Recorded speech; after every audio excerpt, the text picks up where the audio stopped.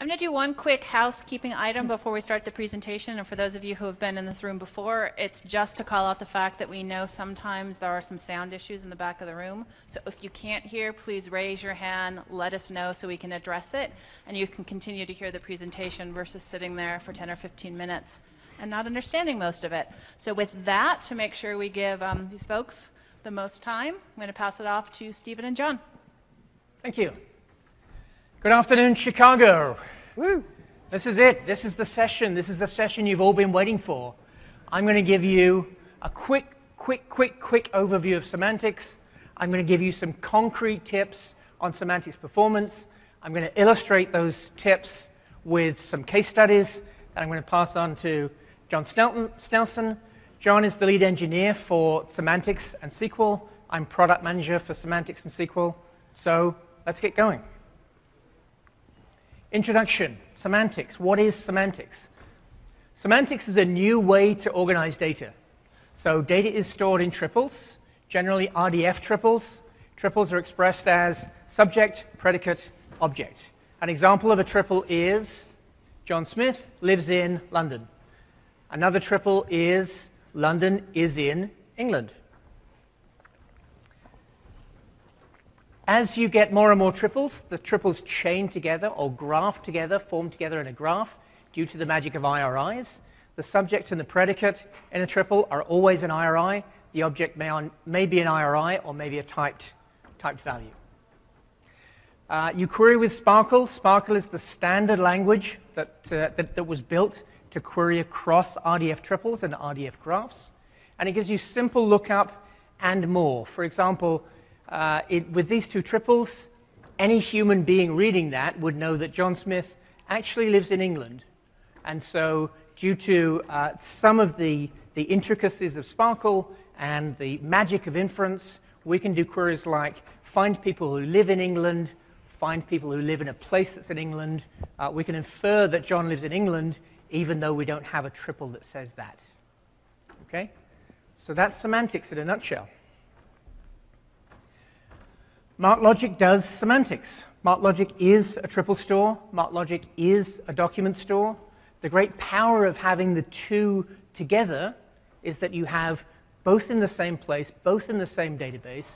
Uh, both are uh, both take advantage of the same enterprise features of security and backup and high availability, disaster recovery, and so on. Uh, sometimes it's, it's a good thing to have triples alongside documents, and the fact that they're in the same place is a benefit in and of itself. For example, semantic search. Uh, a lot of our customers use semantics to expand the query terms they're using, expand those query terms into concepts, use those concepts as input to a regular document search, uh, they get a much better quality search. So having triples alongside documents, that's already a benefit. But wait, there's more. Documents can be part of the graph. Because in MarkLogic, you identify a document by its URI, its database URI, that URI can be the subject or the object of a triple. And so we can do graph queries whose results are documents. So we can have documents take part in that graph query. We can have metadata from a document expressed as triples. And through the magic of templates, which I hope you've heard about already this week, new in MarkLogic 9, uh, metadata can be expressed in the document and also indexed as triples. So that metadata as well can be part of that graph query. We can use semantics for data integration. Uh, you, will have heard a lot about entity services this week. Um, one of, the, one of the things that we can do with triples is to build a semantic model of your data. So tell me, tell me what this data actually means. Um, in the realm of integration, what that means is, let me, let me try this, uh, try out the laser pointer. No. Ooh. I'm always surprised when those things work. Um, so I can say that this kind of a document which is part of a graph. This kind of a document talks about vendors, and the place in this document that I find vendor information is this vendor element. This other kind of document is very similar. Uh, it talks about sellers in the seller element, and this one's very different, but it also has a notion of a provider in the prov element. Now, if I express these things as triples, now I know more about my data. I know more about the meaning of my data. I had a couple of tri triples here to say that vendor and seller and provider are equivalent. And bingo, I can do a search for vendor, and I can find it anywhere in any of these documents because I know that these things are the same, and I know where these things are stored in each of the documents. Okay? So that's triples alongside documents, documents as part of a graph, graph as part of the document information, the document semantics. What if we intertwingle triples and documents? Anybody know what intertwingle means? Nobody. Catch me offline, I'll, I'll tell you what intertwingle means. We can mingle triples and documents in two ways. So this is a document, it's in XML, it could just as easily be in JSON. An XML document with embedded triples. So some of my metadata, for example, I might want to play a part in my graph traversal, so I've embedded them right there in the document. They have the same security as the document. I delete the document, they go away. Uh, I back the document up, they go with it. And kind of upside down of that, here are triples that are decorated by document information. And we'll talk a little bit about this more in a, a, later on. Um, but I've got my embedded triples, and then I'm saying something about the triples, things like the providence and the conf confidence and, and, and so on. So the fact that I can intertwingle triples in documents means that I can embed triples in documents. Um, my document information can be seen as triples, and my triple information can be annotated in a very general way in a document. Okay. So that was the, that was the, the introduction to documents and triples together. I'm going to talk a little bit now about semantics performance at scale. Uh, credit to these guys who uh, helped put together these real case studies. Balvinder, Ed, James, and Tom. So a side note before I dig into this, um, semantics, a semantics problem isn't always a scale problem. Um, if we're doing something like semantic search, where I'm using semantics just to expand search terms, uh, kind of by its nature, that's a, that's a very small, very well-scoped problem. Um, if I'm talking about all the different words for parts of an automobile, for example, I'm not going to have billions and billions of triples. Okay? But so by its nature, that's a smallish, more well-scoped problem. And so I can, I can afford to be more generous when I'm talking about things like joins and inference and so on. If I am doing semantics at scale, Tip number one, overarching tip, use MarkLogic. So you bought MarkLogic, you paid for the license, thank you very much. Um, use it. Don't pretend that it's a triple store and pretend that it only does the things that all the other triple stores on the market do. Um, use MarkLogic security. Use MarkLogic partitioning through things like collections. Use MarkLogic search. Use MarkLogic search for filtering and projection. Don't treat MarkLogic like a dumb data store. Um, and this applies to pretty much anything you do with MarkLogic. Don't just pull everything that might be relevant into the middle tier and then use your Java program to do all the filtering and projection and, and uh, aggregates and so on. Uh, that's not a good way to make full use of your MarkLogic database. Second overarching overall tip query, and you'll hear this over and over and over again as we talk about performance, trim the results set early. Um, so whatever kind of a query you're doing, do that query over as small a result set as possible. Uh, paradoxically, quite often a very complex query will run faster than a very simple query because it's very targeted. And we're very good, thanks to people like John, we're very good at looking at those complex queries and getting right to the answer very, very quickly. So trim the result set early. If you think about it, this is sort of like in the relational world doing, uh, saying not, not to do a select star from table. Right? If anybody's ever dealt with a relational database, you don't ever do a select star from table because you don't know how big the table is going to be. It's going to take forever. Um, in fact, it's worse than that. With a triple store or a document store, you're actually saying select star from everything, from the whole database, from every table you know about. Uh, so see notes on partitioning. Um, once you get into the advanced stages, if you go into very high scale, uh, you can get smart about keeping like triples in the same document. And so you, there are some tricks that you can play that we'll, we'll see in a bit.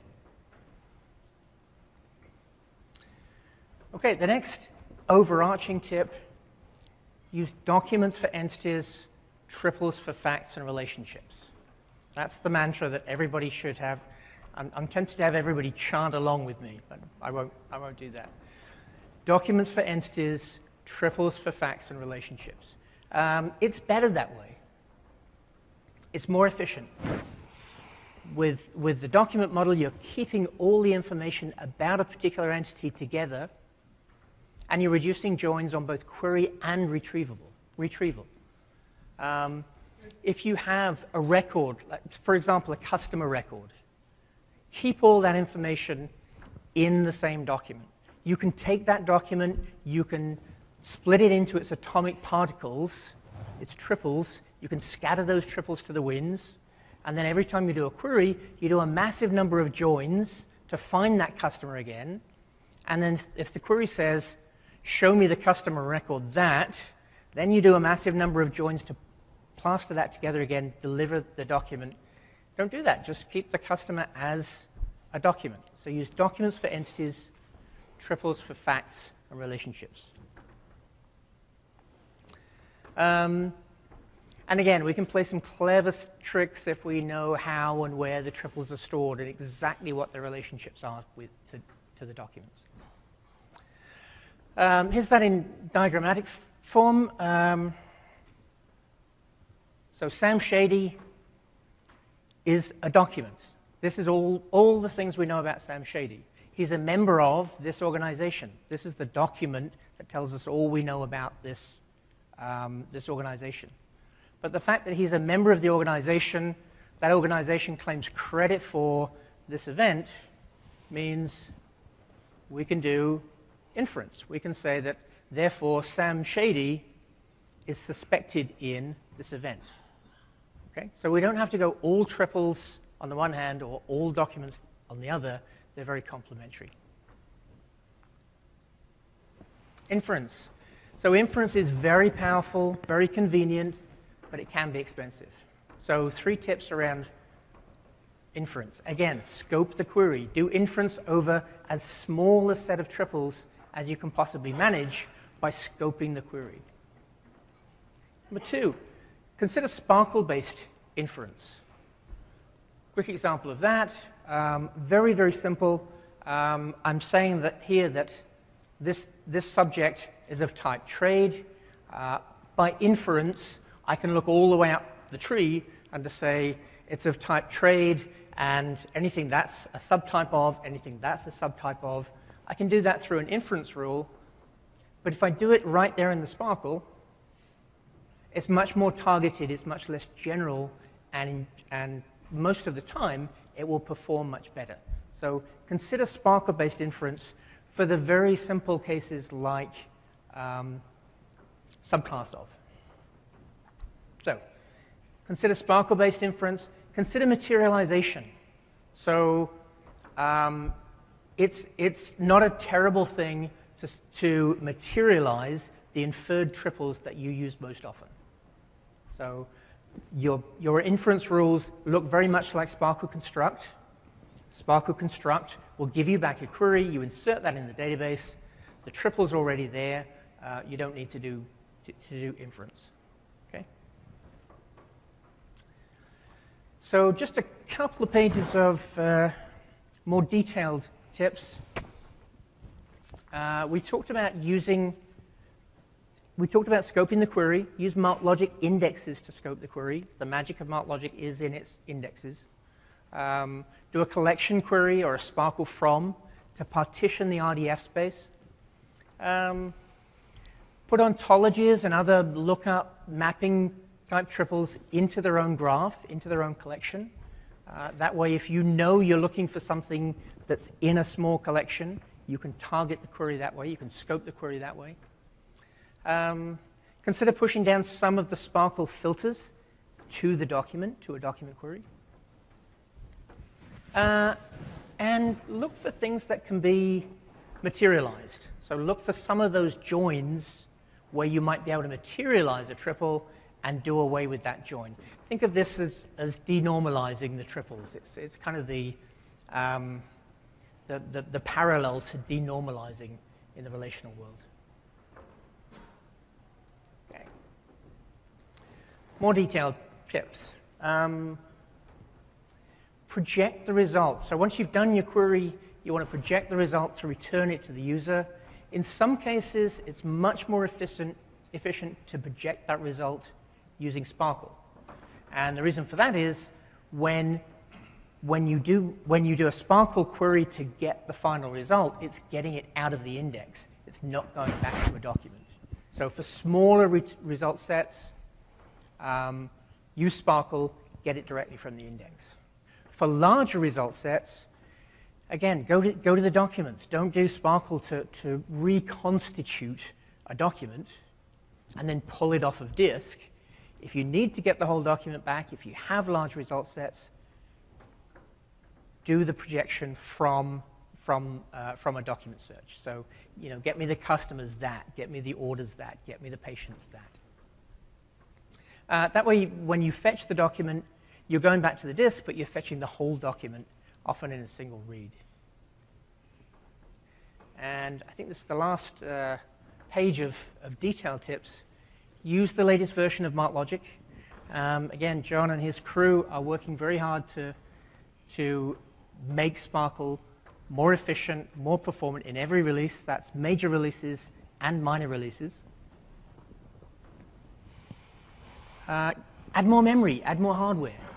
Um, I, I, get calls all the time that say, I've got billions and billions of triples and I'm doing this really complicated query and it's taking too long. And, well, what kind of hardware have you got? Well, I've got a VM that's 8 gig of memory and it's a spinning disk. And add more hardware. Uh, MarkLogic is, is very scalable. It's horizontally scalable. Um, it makes use of more memory if you give it to it. It makes use of more nodes if you give it to, give it, to it. So if you add more memory, the optimizer can choose faster execution plans. If you add more nodes, it can do more parallelization. Um, reuse queries, just, just like in SQL, uh, you use, uh, use binds in SQL to keep the, the prepared query in cache. Do that in SPARQL as well. Um, use MarkLogic built, built-in functions in SPARQL. So um, there's a whole library of built-in functions that you can call directly in SPARQL Uh, that'll give you very good performance. And this, this, is, this is one of those sort of show specials that you will only hear about here. Um, this is not in the documentation yet. Uh, we're hoping to make it, make it into the documentation in 902. Um, we've added a switch for, for dedupe off. Um, basically, the, the SPARQL the SPARQL spec says the, the RDF graph is a set, and so there are no duplicates. You say the same thing twice, there aren't two facts. There's only one fact that you've said twice. In Mark Logic, if you say the same thing twice, we store it twice. You may have different security on it. It may have different annotation, different provenance, and so on. Uh, but one, before we return the results of the query, we have to strip out all those duplicates. If that's not important to you, either because you know you don't have duplicates or you've done something else with the result, you can turn dedupe off in, we think, in 902. And that might save you a huge amount of time.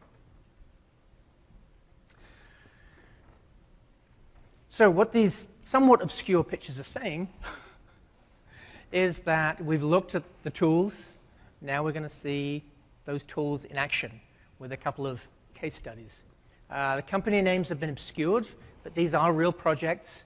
And as I say, those, uh, the consultants that I listed at the beginning worked on those projects, did experiments, got real timings, and uh, developed that list of tips out of it.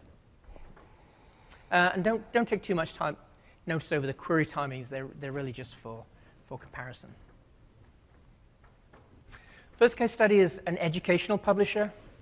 Uh, they have a, uh, a, metadata repository um, to store metadata about their digital products. And before this exercise, some of their SPARQL queries was, were, were running very slow. Um, our consulting folks went in, did a four-week exercise, and saw performance improvements of up to 100x.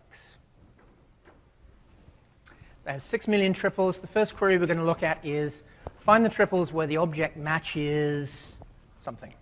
Okay? Um, it's a fairly complicated query. Here's the query itself. Uh, they have a, a regex filter here, a language filter, um, a not exists in a non-searchable graph uh, which they use to filter out things that they, uh, they don't want people to find. Then they do a union on a bunch of B nodes. Uh, then there's an authorization filter here based on SHACL. So it is a, it is a fairly complex query. There's six million triples, and the first query we looked at was find the triples where some object matches a regular expression. And initially that query took 20 seconds on the hardware they were using. Uh, we put in CTS contains, which is a MarkLogic built in, instead of regex, which is the standard SPARQL function. Um, brought the time down to seven seconds. Used a collection query to partition the space, partition by collections and graphs. Uh, that brought the timing down to three seconds. Then used a CTS query, a document query, to, to further scope that, that SPARQL query and brought the, query time down to 0.4 of a second. So over, overall improvement, if I carry the three, 100 times. So there's just an example of the, the kind of improvements you could make by sitting back and thinking about some of these tips. Uh, next steps, we've, we've got some suggestions that we like to make to further improve those query times. Um, they're doing a union over some blank nodes. Uh, maybe they don't realize that we introduced property paths in MarkLogic 8. And look at using MarkLogic security. Uh, so they're using uh, a, they're using SHACL, which is a, a standard, um, but they're using SHACL to do constraints in each query. Uh, that's rather expensive. Uh, if you if you need that kind of very rich, complex security, then maybe it's worth paying the price. Uh, otherwise, uh, maybe it's better to use MarkLogic security um, and get it almost free, very, very efficiently. Okay. And an, another wrinkle on security they've got, they've got a non-searchable graph, so every query, query runs a filter not exists graph, non-searchable, uh, which, which also we think is, is going to be quite expensive. The second query we looked at was a, a get.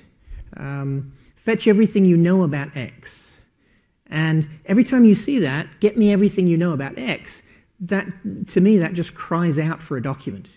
If, if X is an entity in the real world, maybe you should be modeling that as a document, and then fetch everything you know about X will be a single document fetch. Um, so here, started off with six seconds. Um, ended up with 0.2 seconds, a 30x improvement. The next step might be, well, whenever, whenever I see fetch everything you know about X, think about representing X as a document. So, and use TDE to index parts of those documents as triples. So look at the new features in MarkLogic 9, such as TDE. And that was a, a summary of the four-week exercise. Uh, as you can see, huge returns in the first couple weeks and then diminishing returns after that. So we, we were very pleased with that. Uh, second case study, a data store for clinical data. Um, so the, the data about organizations, patients, encounters, conditions, and so on comes in from lots of different sources in lots of different formats. Uh, we need to be able to track provenance because it's a clinical system, track provenance, um, Security is very important. Role-based access to personal information, uh, encrypting uh, the, the information on disk. Uh, the initial approach, again, is let's do everything as triples, because I can. I can represent everything as triples. Um, that gives us limited access to the document features, to security, tiered storage, bitemporal. Um, and they did provenance, provenance and other metadata about the triples. They did via uh, a, a, thing called instantiated predicates, which I haven't seen anywhere else. Um, very, very quickly, uh, if I want to if I want to talk about a triple, the W3C way to do it is reification, which is that. I, I invent this ugly thing and then I say things about it. Um, they invented something that was a little bit smarter, a little bit cleverer. Um, instead of inventing a thing that refers to the whole triple, I'm going to invent a new thing that, that refers to an instance of a predicate. And then when I want to say things about this triple, I say things about this instantiated predicate. Um, this is the perfect example of absolutely tying yourself in knots in order to just use a pure triple play um, and not using the other tools at your disposal, such as documents.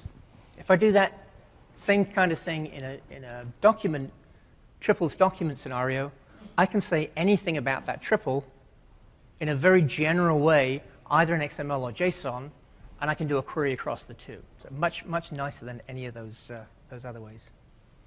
Um, so we, we're, we're now working on a, a documents plus triples approach. Um, top level entities are documents. Um, whoa. Sure what happened in that diagram. Um, one of the nice things here is, from a data integration point of view, is they actually did the thing I was describing earlier on, which is their patient ID, they store as a triple. They say, um, HL7v3 stores the patient ID here, HL7v2 stores it here, FHIR stores it here, and, and they actually use that in their queries. Okay.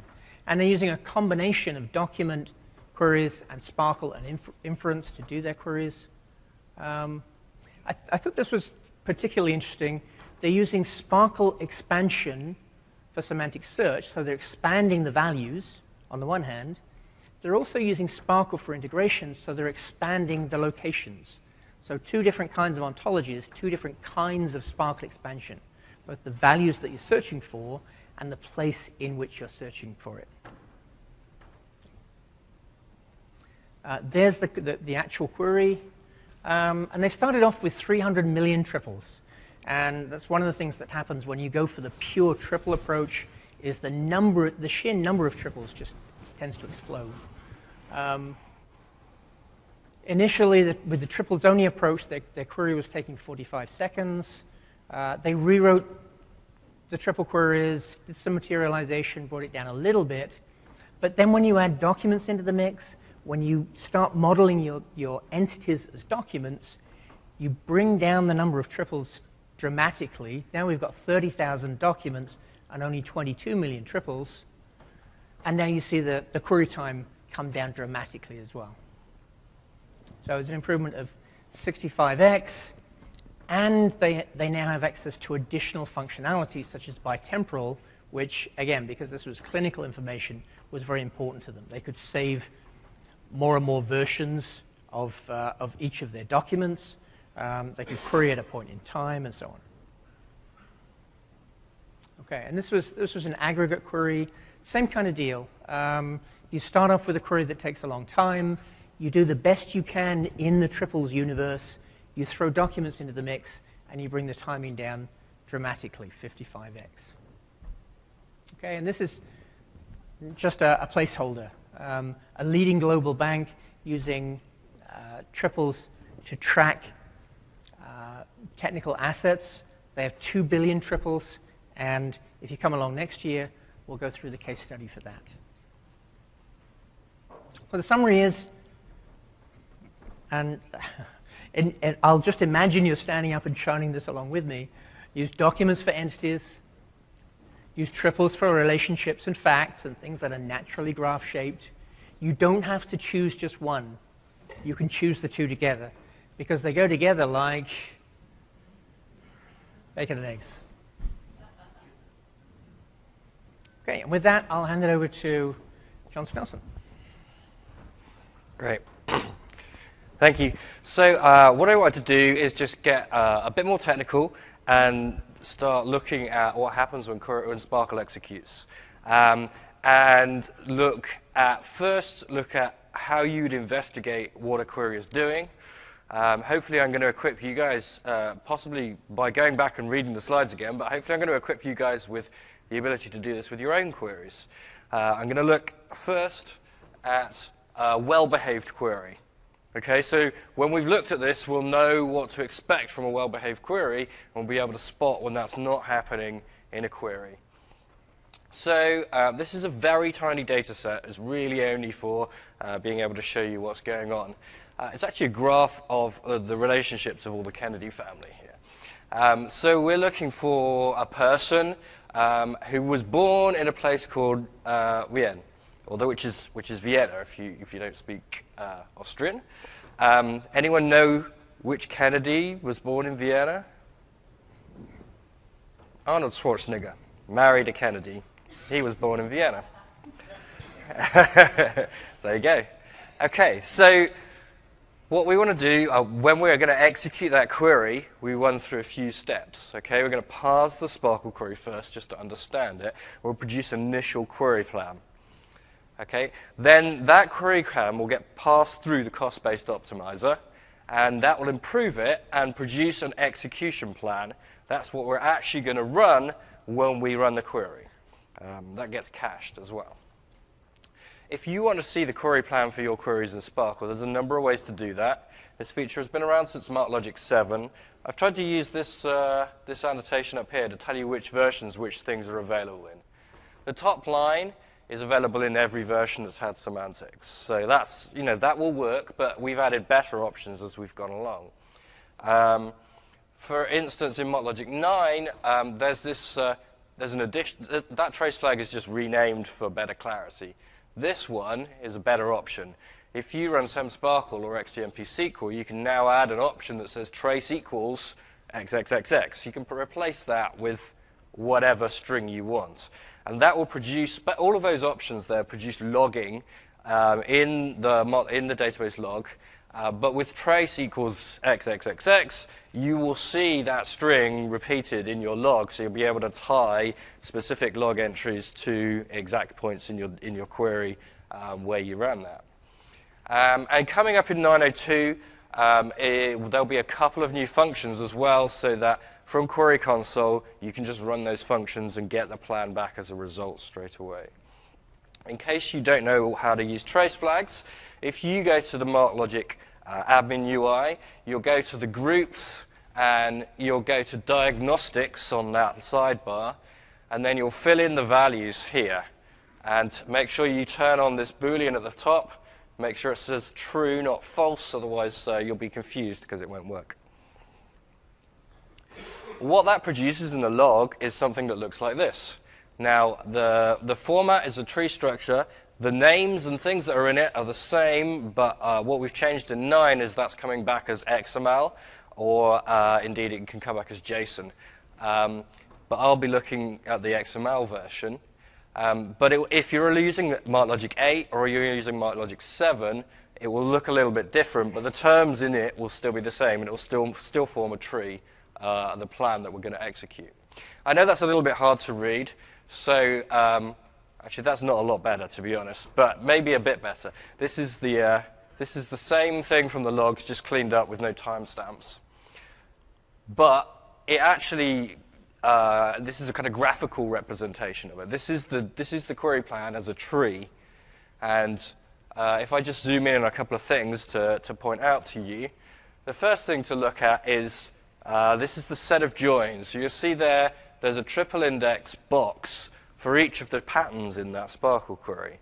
And that, those each represent going to the triple index and looking something up in there. And they're tied together by joins at the top there. Um, you'll notice that the joins are different types. This is a scatter join. This is a scatter join. And this is the parallel hash join. And the, the scatter joins are the things I want to draw your attention to right now. Scatter joins are um, they're ha- normal hash joins. They build, they build a hash table, but they do something called sideways information passing. So as they're building the hash table, they keep a record of every value for the join keys that they need. And they, they can pass that record into the next triple index lookup, and therefore constrain that next triple index lookup uh, so that it, re- it, it, returns far less results, only results that are actually uh, with, have a reasonable um, expectation to, to, to be joined and to produce results. Why that's important is because what we've got in the query that we looked at is we've got some selective conditions and some which could return you know, information from the whole database. So the, the term Vienna actually occurs infrequently in the database. So that's very selective. And so our first lookup here is looking up, you can't actually see it just as literal there, but that's the Vienna literal. Now, so that's going to return a small result set, and we're going to collect the information about which places have the name Vienna, and we're going to pass that through the scatter join into this triple index lookup. That's going to identify people that were born there. This triple index lookup feeds into this scatter join. And the, the left-hand side here is always the side that we build uh, the join table from. So once we've identified the people that were born in that place, we pass those values into lookups for last name and first name. Because we don't want to go and access the last name of every, everybody's records who we've got in the database. We, it's much more efficient to access the last name for just the people that we're interested in. So those scatter joins are important because uh, when they're used, it means that we've identified a way to efficiently execute that query plan and restrict the data that we need to access. Something else to talk about just at the top of that query plan I showed you, um, there was an order by on there. I was ordering, order by, ordering by uh, two, two fields, first uh, the first name and then the last name. Um, you'll notice that um, there's a num sort. This is actually an attribute in the query plan, and it's telling you that one column is already sorted. And we track the sort orders that we can get back from the indexes, and if one column is already sorted, we can perform an efficient uh, partial sort on the result based on the knowledge, based with the knowledge that the, the major order is already there, and we just need to get the minor order correct. So we found a way to more efficiently do that sort as well. So, I talked about the, the selective condition, condition, the constraining condition here for that query, which is that one there, which has uh, the term Vienna in it. Um, if, I mean, I told you that that was what it was. If you wanted to discover what the more selective conditions are for your query, um, or in your data set, you could use the statistics. So there are APIs to the statistics that we use to optimize queries. Again, I'm not going to go through each of these now uh, that I've been through one set of these lists, but there's trace flags um, to turn on to get this information in your logs. And there's also a function that's existed since 8, which will return you this XML. And this XML tells you about each value, uh, each fixed value that you, are, uh, you have in your query, and it tells you what we know about it. And the thing to notice is here's the, the Vienna term, and it has a count of 1. You see the data set's fairly small. The total triples there is only 1,600 in this case. A lot of these occur, you know, 50 times, 75 times. This one occurs once, once. And so obviously there's a lot more selective than the other terms, and that's why it's been used uh, in, on the left-hand side of a scatter join to restrict everything else in the query. There, oh, I, I did a little highlight for you. There you go. So the next thing you can do is you can then, uh, having looked at the query plan, you can follow through exactly what calls we're making to the dnodes in MarkLogic. Um, when we're making calls to the dnodes, that will be because we're doing triple index lookups. Or in MarkLogic 9, um, we can pass down more operations to happen on the dnode, like grouping and sorting. Um, so that will produce a series of these lines in your log, each one representing one message that we sent to the dnode to get results. So in the execution of the query we've been looking at, the first thing that gets looked up is the, the triple pattern with that Vienna string. So we know, we know that that's been executed first, as it's the most selective. The second thing we look up is the birthplace, and you'll notice there's this constraint at the top. This constraint is the information that got passed from the triple pattern when we looked up Vienna. So Vienna, that identified us a place with this IRI, and that place is a constraint on the next triple index lookup. This is all really just going to prove what I was saying before. Here, the place determines some people, or a person in this case. That person is a constraint that gets passed into both the last name and the first name lookup. You notice one thing that changes here between this is last name. See this permutation? First name has a different permutation. It's doing that because it's getting the, the first name in the correct order, which satisfies our order by that we looked at, or at least the first, the, the major sort order for that. So now we've seen how that query executed. Let's look at this problem query. Um, this is where it really comes down to uh, things that you might be able to look at uh, with your queries when you find that they, they have issues. Now, it, on, on the face value, this looks like a fairly similar query. We're actually looking for people whose parent was born earlier than 1890. Okay? And now, I happen to know that that condition uh, is not served well by the statistics that we currently keep. We don't have uh, very good ways to accurately say what is less than a certain value or what is greater than a certain value. So that condition, I know, I know it's selective. I know it's only actually going to return one parent who was born before 1890. But the query optimizer doesn't know that, and that's kind of what's important when we get the query plan. The query plan now looks like this. It's fairly different. Um, oh, now, the only thing I really want to point out, I know it's quite small and difficult to see, but we have parallel hash join, parallel hash join, sort merge join. An assortment of different join operators there. We don't have a scatter join. It hasn't identified the constraining condition. Um, and therefore, it's going to be doing a lot of access to all the data that there is in the database. So how are we going to improve that query? One of the ways we can do that is we can give the optimizer a hint. Uh, you know, I happen to know that there's only one person that satisfies the condition that they were born earlier than 1890. So I can put in this limit. It's a subselect really only for the purpose of the fact that I want to limit it. And I can say, since I know there's only one, I can tell the optimizer, look, limit one, there is only going to be one of these. Um, of course, if there was more than one, you would get a cutoff. So you, if the, one in this particular case is because it's a, it's a really small data set. If you had millions of, of you know, entities in your data set, and you could say, oh, this condition only, only matches 100, then a limit of 100 would be enough for the optimizer to understand that that would be a good condition to use a scatter join for. So now the query plan looks like this here's the limit. Uh, sorry, here's the limit. Okay, that then now feeds into the scatter join, just like the previous query used to, and another scatter join here. So we can see, because the scatter joins have turned up, that the optimizer has picked a better plan and is going to get access less data from the index. Another way we could solve that same problem, having figured out that we're not understanding that the less 90 condition is, is restrictive, we could add additional restrictions. So this, in this case, is the new line in this query. Now, I know that changes the query. Um, in this case, it re would return less people. Uh, a couple weren't born in Boston.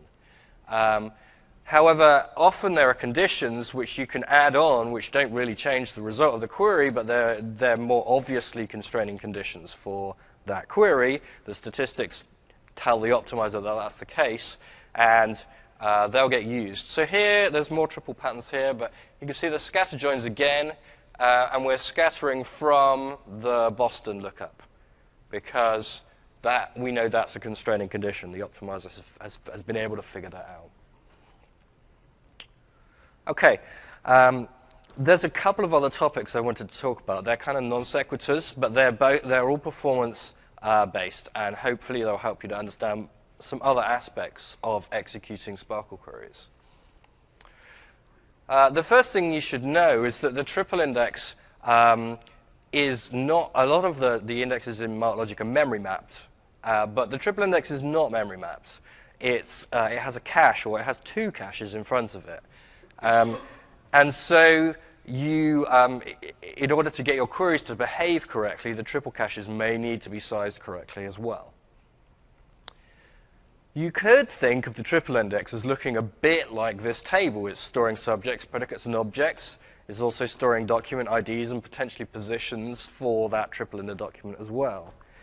Um, however, what would be closer to the truth is that there are IDs stored instead of actual values for each of those positions.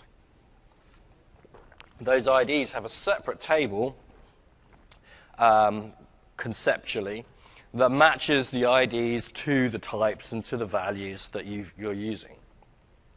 This goes uh, to explain why there are two triple caches. There's the triple cache, which caches this data, and there's the triple value cache, which caches this data, the dictionary data.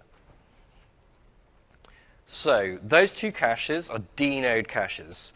They uh, sit in front of the indexes in the forests, um, and uh, whenever you load uh, triple data from the disk, they'll go through the caches. Um, there's, a, there's a few things, I'm not necessarily going to go through all of those bullet points, but one thing to know is that the triple caches, both of them, uh, grow and shrink. They don't allocate all of their memory up front, if you don't use any access to the triple index, they'll, be, they'll use no memory.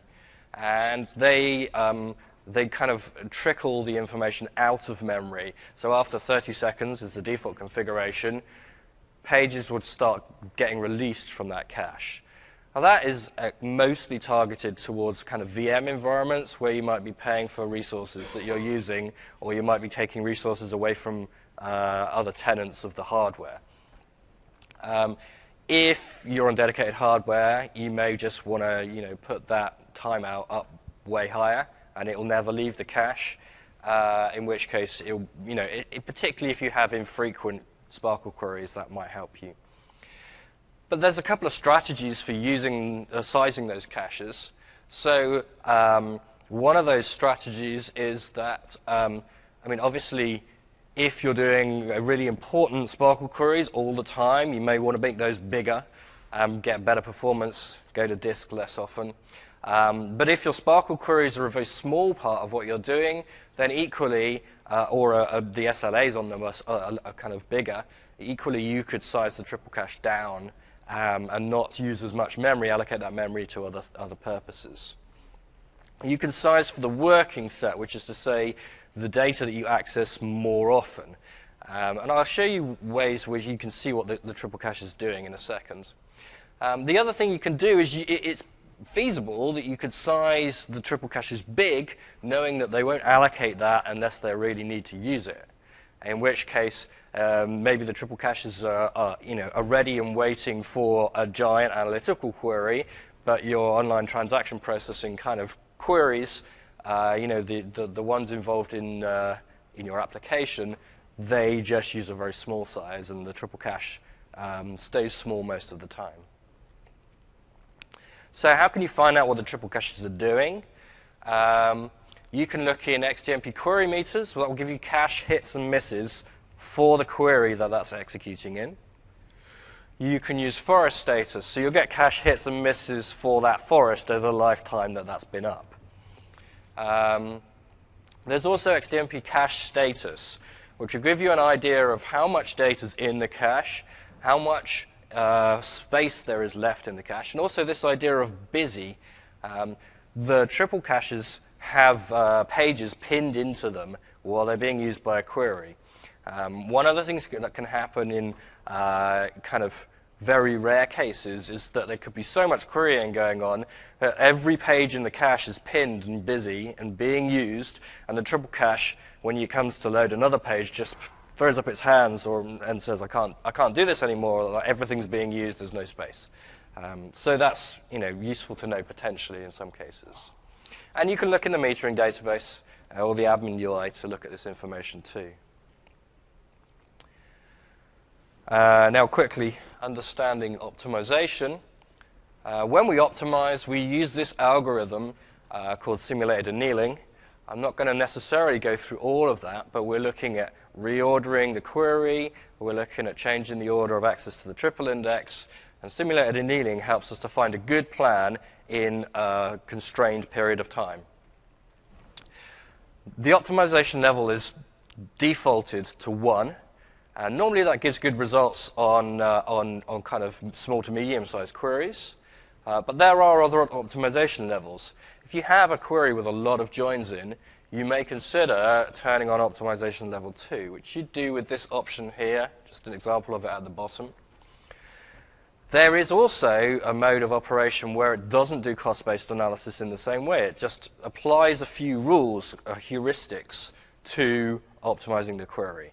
And for very small queries, or for queries that are only going to be run once, and uh, where you're not really worried about you know, the, the, the performance so much, you might use optimization level zero. That just does the heuristics, not the cost-based optimization. Now, with this, there's a trade-off between planning what you're going to do and actually doing what, you what you want to do. And there's really no point in spending three seconds planning to execute a query that's going to take milliseconds one way or the other. Okay? Or spending those three seconds to execute a query that you're only ever going to execute once in the lifetime of your application. So if it's going to be run, the query is going to be run over and over, you know, uh, it may be worth upping the optimization level. Or if it's uh, got a lot of joins in it, it might take a long time in, in, in, in the end anyway. It might be worth spending a, a few seconds up front to do it for a big analytical query like that. I, uh, under the covers in MarkLogic 9, we've really been um, doing a lot of stuff focused on performance. One of the things that's happened is that um, not only is SPARQL implemented on this engine, which I'm now calling the Optic engine, because it, it now covers both SPARQL, SQL, and the Optic API. They're all running on this engine that uh, we've just been looking at the query plans for. We've also been able to uh, push down a lot more operations to the D node and provide more optimizations on top of, um, um, in addition to the ones we already had. So, for instance, you can expect to see faster order bys, uh, particularly if you have a known predicate on the um, on the uh, on the index lookup which you're trying to order by. Um, faster descending order bys, faster multi-column order bys. I talked about the multi-column um, sort optimization earlier. The, um, the triple index can now do range-based access, which is to say it has a minimum and a maximum value to look up. And so queries that, that do ranges like that will be faster. And we've got a, a, a different grouping operator, which uses hash-based grouping, and faster disk reads, particularly on Windows. Windows operating system uh, didn't behave well with the size of disk reads that we were doing, and so we've improved that dramatically. That also improves Linux performance. So, uh, if I get my co-presenter's attention, um, what we've just given to you, uh, shown you, is uh, we've introduced semantics again, just in case you'd forgotten what they was. We've talked about performance at scale and some tips to help you to work towards uh, more performant queries at, at, at scale. And we've looked at some case studies about that.